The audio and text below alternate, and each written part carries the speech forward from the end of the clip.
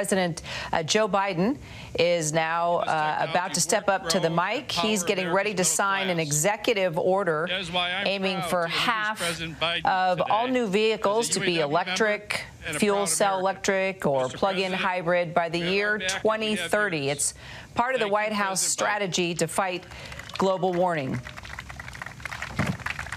We're going to go ahead and listen in. Please, everybody sit down. Please, please, please. Good afternoon. Good afternoon. I, uh, before I begin, let me start with something, uh, I apologize, more somber. I, uh, I learned a couple of hours ago when my staff came in that a close friend of mine, and I think of many of you as well, Rich Trumka, died today from a heart attack. The reason I was a few minutes late coming out, and I apologize for that, I was talking to his wife and to his son who called. He wasn't just a great labor leader, he was a friend, and his friend of yours too, Debbie, I think. And he's someone I could confide in, and uh, you knew whatever he said he'd do, he would do. It was simple, Tommy. You knew him well as well. He was always there. He was an American worker always fighting for working people, protecting their wages, their safety, their pensions, and their ability to build a middle class life. I've also believed that the middle class built America, but I know who built the middle class unions. Unions built the middle class. There's no doubt that Rich Trumka helped build unions all across this country. My heart goes out to Barbara and Rich Jr. and the grandkids. And uh, I might point out that. Uh, you know, uh, I used to always kid him. He was from soft coal country. I was from hard coal country. we used to have this thing about, you know, he used to be president of the United Mine Workers, and that's how he got started. Folks, um, uh, let, let, let me now turn to today's events. Event. I want to thank Bernie for the introduction and for being part of the best auto workers in the world. Thank you, Ray Curry, president of UAW. You're here, Ray, I was in with you. Good to see you, pal. And I also want to thank the leaders of the big three companies for being here today. Mary Barra, Barra, she General Motors. She, I want to tell you, I think she's one of the reasons we're here today. We had a long discussion on a Zoom call with a bunch of labor leaders and other uh, other major business leaders, and uh, she made a commitment and she's keeping it. Thank you very much, Madam Chair. Jim Farley of Ford. And by the way, my dad was in the automobile business. He sold Fords for a while, but mostly General Motors projects, uh, uh, products. But you see that sucker over there? Zero to 60 in 4.1 seconds. It's all electric. I tell you what, and I want to say publicly, I have a commitment from Mary when they make the first electric Corvette. I get to drive it. right, Mary? You think I'm kidding? I'm not kidding. And my entire Secret Service detail went, oh my God, let's go.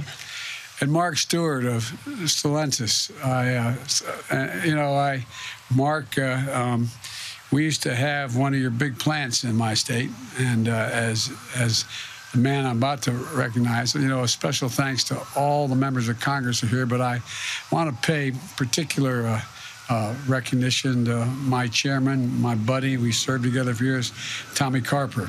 Tom, and I know that uh, I, I, kid my Michigan friends, but um, you know, uh, uh, I, uh, I just want you to know, say to Senators Heinrich and Markey and Whitehouse and Padilla and uh, you know, uh, Duckworth, and I'm leaving some folks out, I'm sure. Representative Kathy Castor, uh, um, you know, and the Michigan delegation that's here today. Debbie Stabenow, uh, Senator Gary Peters, Congresswoman Debbie Dingell, who is automobiles, and uh, and Dan Kildee. But I want you all to know, I remind the Michigan delegation of this. It used to be when I was first got elected, Deb, and I used to tell your husband this as well. We had a higher percentage of auto workers in Delaware than any state in the union, including including Michigan.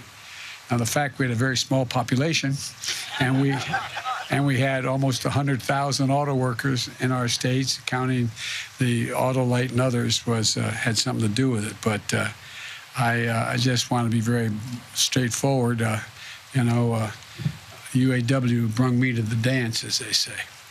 And I also know we're missing someone truly special and a dear friend of all of us, uh, Senator Carl Levin, who passed away last week. Carl and I served together uh, for 30 years in the United States Senate together. He was one of the most, I think all my colleagues in Newham will attest to this, one of the most honorable people, most decent people I've not only served with, but I've ever known. He was a tireless champion of an American worker and the iconic uh, American automobile industry. And so he embodied everything that his beloved Michigan and, and, his, and our country represents respect, dignity, pride, pride in the nation and pride in what we built. And so today, uh, labor and industry, state and local leaders we're all working together to write the next chapter of the American story. As I've said before, we're in competition with China and many other nations for the 21st century. To win, we're going to have to make sure the future will be made in America. You know, back in May, I toured the Ford plant, as I mentioned, a state of the art facility in Dearborn, where the UAW workers like Bernie are building the first ever all electric Ford 150. And as I said, the best part is I got to drive it. It's incredible. And just like the other vehicles that are behind me today. They're a vision of the future that is now beginning to happen. A future of the automobile industry that is electric battery electric, plug-in hybrid electric, fuel cell electric. It's electric, and, and uh, there's no turning back. The question is whether we'll lead or fall behind in the race for the future. It's whether we'll build these vehicles and the batteries that got them to where they are in the United States, here in the United States, we're going to have to rely on other countries for those batteries. Whether or not the job to build these vehicles and batteries are good paying union jobs, jobs with benefits, jobs that are going to sustain the continued growth of the middle class. They have to be. They have to be made here in America. Right now, China is leading the race. It is one of the largest and fastest growing electric vehicle markets in the world. And a key part of the electric vehicle, to state the obvious, is the battery. And right now, 80% of the manufacturing capacity for these batteries is done in China. And here's the deal it's not that China battery, it's not China's battery technology that's much more innovative than anyone else's. Remember, our national labs in America, our universities, our automakers led in the development of this technology. We led in the development of this technology. And there's no reason why we can't reclaim that leadership and lead again. But we just have to move, we have to move fast. You know, when Barack and I were in office, President Obama and I were in office, that's what we were doing. In 2009, the automobile industry was flat on its back. We were told that we'd never be able to sell American made cars at the same rate as we did before. But we didn't listen to the naysayers. We even had some in all in both parties who didn't think we should quote bail out the industry, if you remember. Well, we bet on the American worker and we extended a lifeline and they stepped up made sacrifices to do it, and they saved more than a, we saved more than a million jobs in the process. Working with the auto industry, we set fuel efficiency standards and provided incentives for folks to buy fuel-efficient vehicles. Through the Recovery Act, we made the largest investment in clean energy and battery technology ever made. And then the previous administration came along into office, and they rolled back the standards we set. Despite bipartisan support, for consumer incentives, they also let the federal tax credit expire, penalizing auto workers who were at the time selling most electric vehicles in the world, in the United States. They announced infrastructure when we they announced infrastructure week. They did it for every week for four years, and not once got anything done. Not once, folks. The rest of the world is moving ahead.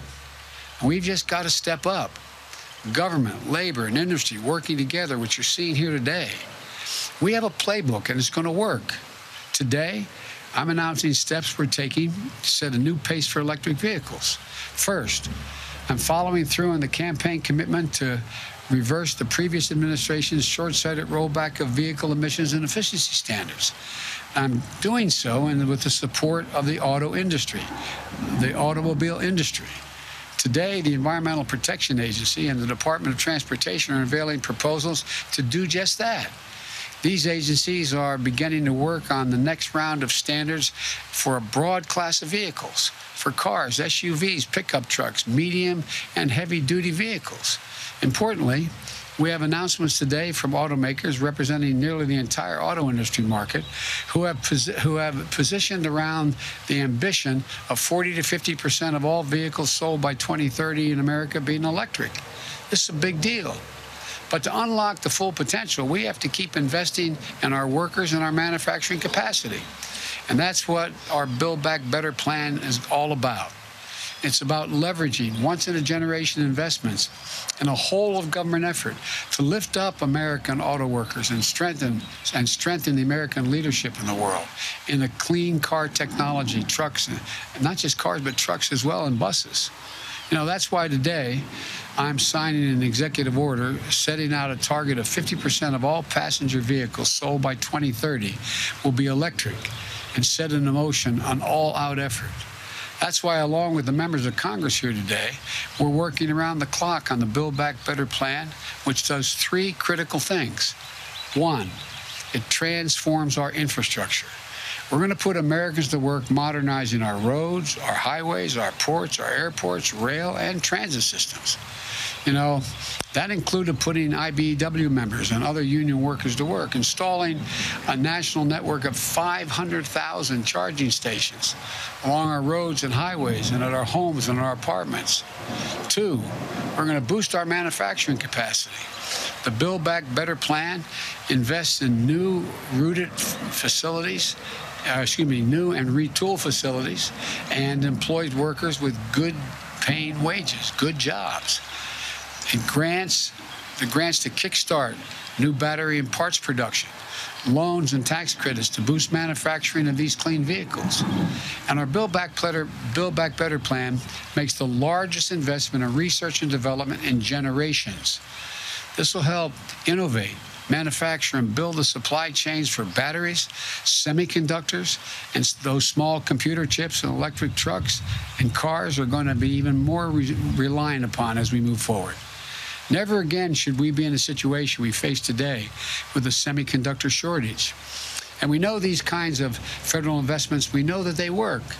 It was the Defense Department and NASA that got the modern semiconductor industry on its feet decades ago.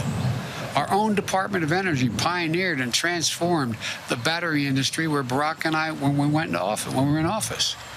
And with the help of the Recovery Act, grants and loans, battery prices dropped 85% because we were forward looking.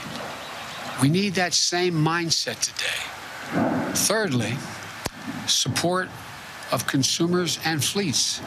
That means purchasing incentives for consumers to buy clean vehicles, union made right here in America, like the ones championed by Debbie Stabenow and Ron Wyden in the Senate, which provides $7,500 basic credit $2,500 credit for vehicles made in America and an additional $2,500 credit for union made vehicles. That means spurring demand by converting the federal government's enormous fleet of vehicles. We have over 600,000 of we have a lot of vehicles, 60,000 of them, I should say, into an all American made clean vehicles. So that's what we're going to do as we as we roll out and get rid of the existing fleet, we're going to support the electric transit system as well and the electric school buses. Look, and there's one other thing we have in our playbook that will help us outcompete other nations the American worker. The American worker. I really believe this, and I know you guys do too. The American workers are ace in the deck. Now I know many of you watching at home are like the folks I grew up in Scranton and Claymont, Delaware. They feel left out, left behind in an economy and an industry that's rapidly changing. I get it. I understand it. But we're going to leave no one behind. Nearly 90% of the jobs created in our infrastructure plan do not require a bachelor's degree. And when we invest in our infrastructure, we're going to buy American products, American materials, and services from American businesses made in America by American workers. And we're going to do everything in our power to encourage and protect the right of workers to unionize and collectively bargain. The bottom line is we are proposing a blue collar blueprint to rebuild America. That's what it's going to be. And we need automakers and other companies to keep investing in America.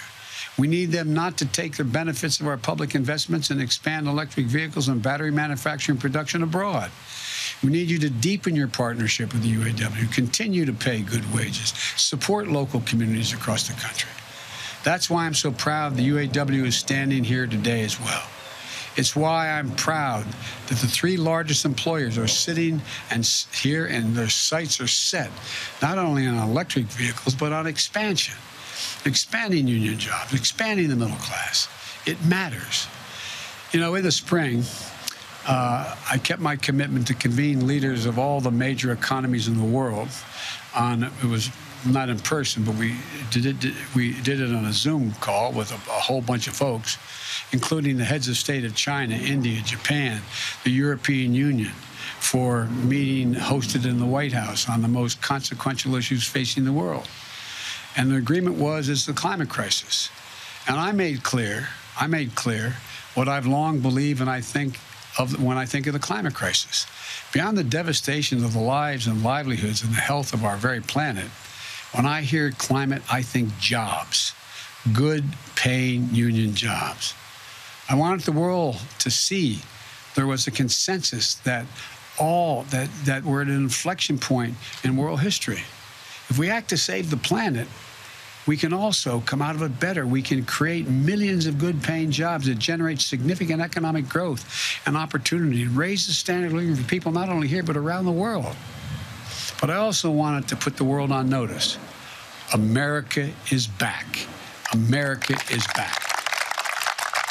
We're in the competition for the 21st century, the future that will be built right here in America. Let me close with this. Our economy is recovering. In six months, we're seeing the fastest job growth on record at this point in any administration in history, the fastest economic growth in nearly 40 years. And we've shown each other in the world that there's no quit in America. None, none, none. And it's never, ever, ever been a good bet to bet against America. We are the United States of America. There's not a single solitary thing, nothing beyond our capacity to get done if we and when we do it together. We have to act. And that's what we're doing today. And again, I want to thank this, the CEOs of the automobile companies, and I also want to thank all the auto workers. Thank you all for being here today. Now I'm going to sign the executive order, but I'd like to invite my congressional colleagues to come up if they're willing to stand behind me here when we do this, and others who know they're supposed to come on up. Thank you all very much. We're certainly willing. Mr. President. Good to see you. Good to see you. How are you? Mr. President. Good to see you. I love that amendment. Okay, so the President of the United States there on the uh, South Lawn uh, of the White House. Uh, he's getting ready to sign that executive order aiming to curb greenhouse gas emissions, saying the future of the automobile industry is electric. Let's bring in White House correspondent Mary Alice Parks. Just talk a little bit more about what the president uh, had to say no surprises. He pretty much laid it out, right? By 2030, he wants electric, uh, fuel cell electric or plug-in hybrid cars to be made. Uh, you know, make it better for the environment, uh, better on the uh, the uh, pocketbook and better for America. Yeah, Kira, he said the rest of the world is moving ahead. And he's not wrong that China has ramped up its development of electric vehicles, that experts say we're going to see an explosion of electric vehicles on the market. Some estimates that we could see a doubling of the number of electric vehicles every year for the next few years. And so you heard the president saying we can either be a part of this or not, and I'd like us to be a part of it. He said that when we work to save the planet. We can also work to raise the standard of living. When he thinks of fighting climate change, he thinks of jobs, jobs, jobs. That's a message we've heard from this president before.